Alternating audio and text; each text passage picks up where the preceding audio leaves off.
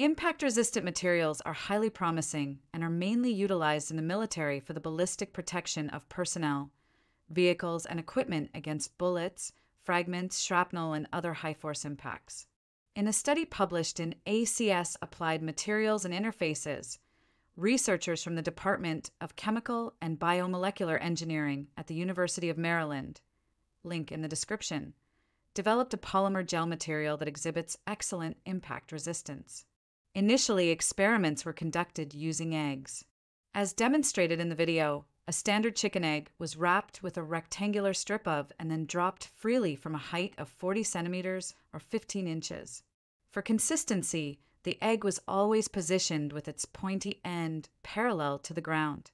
When a 10% gelatin gel was used, the egg broke upon impact.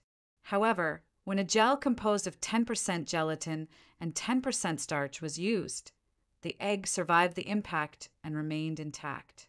This experiment was repeated with over 10 eggs from the same height, and the same result was consistently observed.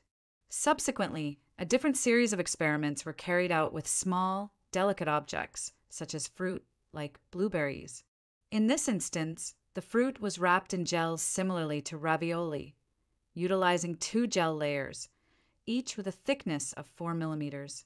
The fruit was placed on the first gel layer, followed by the second layer on top, and the ends are sealed by pressing both layers together to create contact adhesion.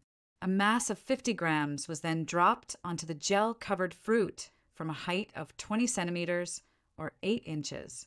When the gel was 10% gelatin, serving as the control, the blueberry was crushed by the impact.